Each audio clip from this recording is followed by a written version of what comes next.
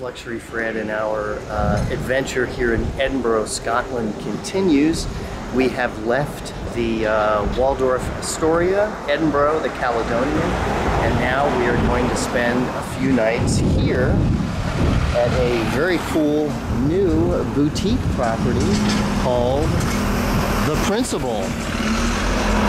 Principal, and we are here on uh, George Street, which I have not explored before. We are down the street from a big statue. It's a big, uh, very cool looking church next door and uh, another Georgian building over there.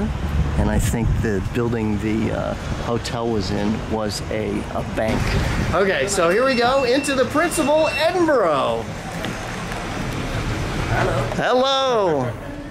Good afternoon, Mr. Sherman. Thank you. Good to see you. And you? Right, so we manage. We, Good to see you. Good. Thank you. Thank you very much. Nice to meet you. Thank you. And I am wearing this cool antique top hat because it came with this beautiful suite here at the Principal Edinburgh George Street. So I'm going to give you a tour of my suite, which is number 103. I'm going to take off the hat. So again, I'm here in Edinburgh, Scotland. And this is a very cool boutique hotel. The immediate vibe I got from this hotel as soon as I started talking with them about visiting was excellent. The minute I walked in the door, the vibe I got was excellent. That this is a great, cool, hip boutique hotel, beautiful accommodations, and most importantly, staffed with people who both enjoy their job and care about their job and care about focusing on one thing, which is providing each guest, no matter what their agenda, what they're here for leisure, pleasure, business, whatever, family to make sure that that guest has the best experience possible. And I really got that vibe, I got that feeling as soon as I walked in the front door here. So again, this is my suite. This is suite number 103. The hotel is divided into two sections. The main um, central part, which I'll be showing you some other video uh, as part of this tour. The main part is a uh, former insurance bank building built in 1880. There is a wing of about 220 rooms that was built in the 1970s, kind of a modern ring wing. And then I am in uh, the suites and junior suites, which are created, which were created from three probably Regency period townhouses. So this room uh, retains the period uh, molding and details and fireplace and uh, really kind of reflects the history of Edinburgh and of this specific property. Again, these were three private mansions that have now been combined to form part of this hotel. And this painting of this lovely lady is not specifically been identified, but they they found this in one of the townhouses when it was converted into a hotel, and they believe that this was one of the former residents of one of the townhouses. So again, let me give you a tour. This is Suite 103. So we have this large living area, very stylish and contemporary, very high quality furniture you know, the couch isn't saggy and things like that. Everything is really nicely done. This hotel was uh, renovated, uh, underwent, a, I believe it was about an 18 month long renovation, uh, and just reopened in November of 2016. So we have cute little touches that remind us we're in Scotland, like this silhouettes of Scottish dogs. We have the tartan on the pillow here. And then we have, I believe this is a representation of the thistle, which is the flower, the national flower of Scotland. We also have a print of Robert Bruce. one of the country's great poets and writers. We have these two cool display cases with uh, antique books, some antique uh, drink decanters, and some other kind of knickknacks that, again, bring the history of the building in this area into the room, including the andirons and that uh, box down there. Uh, I'm trying to think what to show you first. Uh, so we have another one of these display cases here. Again, this is the Principal Edinburgh George Street, and it's called that because, as you can see here, we are right on George Street, which is one of Edinburgh's main shopping and restaurants and clubs and things like that, kind of one of the city's main uh, commercial streets. And it's a beautiful sunny day outside, and uh, a lot of people out exploring the city. So again, we have this nice uh, seating area kind of in the living room here. Um, over here, we have this nice uh, hamper of local products that the hotel has kindly left for me. Uh, we have um, some pastries and cookies and chocolate that's made in Scotland and uh, apple and ale chutney. And this is some kind of interesting soda and a very nice note from the general manager.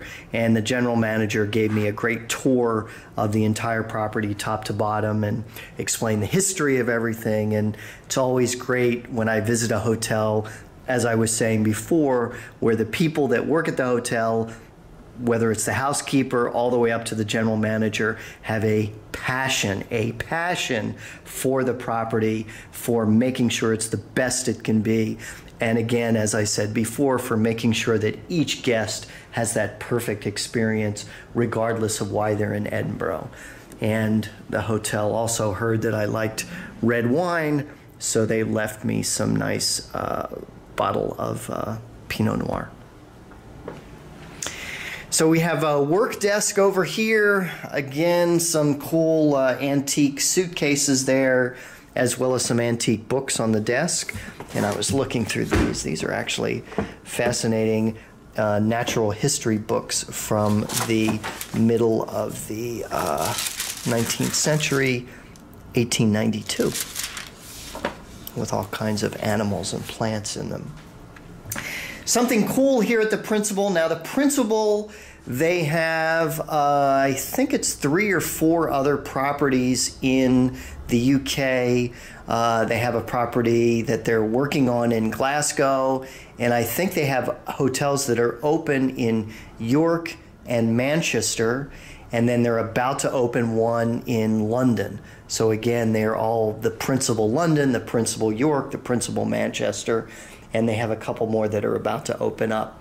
All kind of historic, grand, beautiful hotels that have been totally modernized and uh, done in a stylish way as well.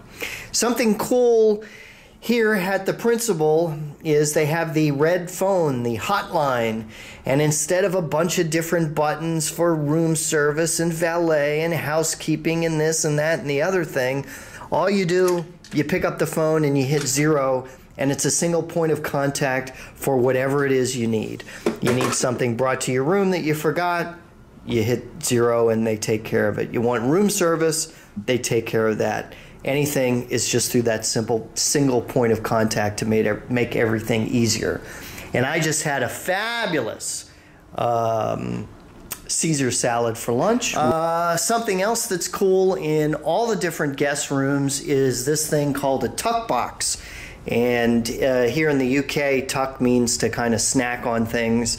And so this is free, complimentary little cookies and snacks and candies and things like that. So instead of putting them in the minibar and charging you for them, they're all complimentary. Uh, you, of course, have a fancy tea service, including a uh, tea caddy to keep your tea warm. And something else that I've learned is that these principal, uh, the principal coffee mugs have images that reflect the different cities where the principal hotels are. So this is horse racing. Uh, yeah, I think that's horse racing. And then this is a ship, and I'm not sure which principal cities those two represent. Uh, coming back into the foyer here and kind of the entryway, again, this is Suite 103. We have a big closet here with a large safe and then additional storage space under here. Something interesting that I just learned is that uh, there's been some celebrity guests in this suite, including uh, recently George Clooney stayed here. So moving on uh, into the little hallway here, again we have this beautiful oil painting of a mystery lady.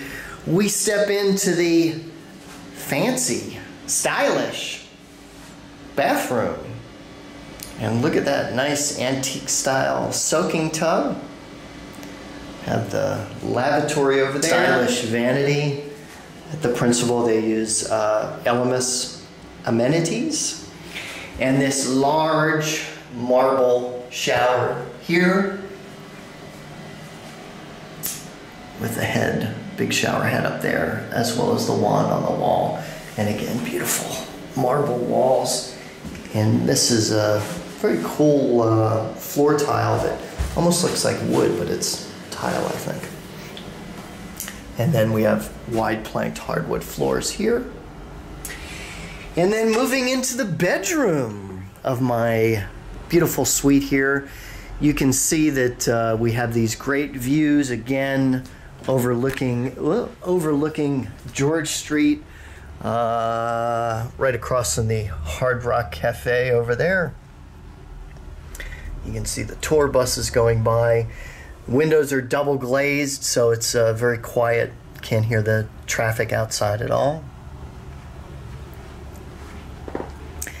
And uh, hopefully in the introduction to this video, you saw a beautiful drone shot of the facade of this uh, neoclassical building. The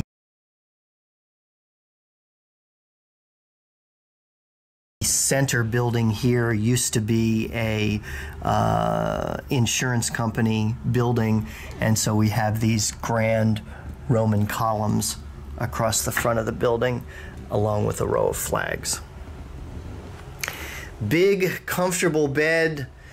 Again, reminding you that you're in Scotland with the artwork showing, I believe that's the Scottish Highlands, possibly Loch Ness. And a nice, comfortable bed with three, six, eight, ten pillows. Ten pillows. And again, the hotline phone right there. We have a cool uh, kind of a little ladies dressing table here. And this comes up with a mirror so you can do your makeup or your hair for guys or gals, not just ladies. Uh, then over here we have a seat and my luggage. We have a nice framed uh, flat screen TV and then in the bedroom here, we have another uh, wardrobe, which includes a Dyson uh, fancy fan if it gets too hot, although the room does have very nice air conditioning. And there's my drone, which uh, created the beautiful facade shot that hopefully you've already seen as the introduction to this video. So again, very stylish, large, elegant, yet comfortable bedroom here. Suite 103. The Principal, Edinburgh, George Street. And as I had showed you before, one of the cool accessories is this antique beaver felt, which is the strange fur on the outside, hat which to me looks more Regency, like the early 1800s. And the hat came in this very cool traveling hat box. And the hat fits in there. And then this goes on top. And if you were rich traveling with your hat in the uh, 18th or 19th century, you have a brass plate out up the top there, and your hat fits in this which you can see was in the Royal, was on a steamship in the cabin And so, a very cool antique traveling hat case. So that concludes the tour.